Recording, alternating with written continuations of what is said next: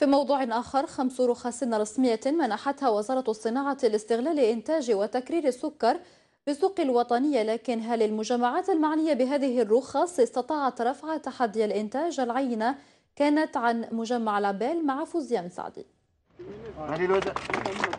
بعد أكثر من سنة عن تدشين وزير الصناعة لمصنع إنتاج وتكرير السكر التابع لمجمع لابيل بولاد موسى كاميرا تلفزيون النهار زارت المصنع. ورصدت الحصيلة Ici, dans la wilaya de Boumerdas, vous avez cette grande raffinerie de sucre qui produit 1000 tonnes par jour. Euh, L'investissement est de l'ordre de 180 millions d'euros. De, de, de, et euh, nous allons doubler la capacité sous peu pour passer à 2000 tonnes et produire 700 000 tonnes de sucre raffiné par an. Et qui fera de nous le deuxième producteur de sucre en Algérie. Et euh, nous produirons à peu près le tiers de la consommation locale. Nous nous projetons sur l'exportation. محدودية المدعمين المرخصين رسميا لإنتاج السكر بالجزائر كان سبب إرادة القائمين على المجمع لرفع تحدي الإنتاج. C'est une réussite parfaite et en même temps, ce qui fait euh, plaisir à voir, c'est qu'on a pensé à l'avenir.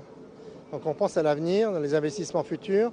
Ce site-là a été conçu pour doubler de capacité, doubler sa capacité et à partir de là, donc euh, la volonté euh, du partenariat franco-algérien entre Cristal Union et Label démontre non seulement cette volonté d'investir et la pérennité du site.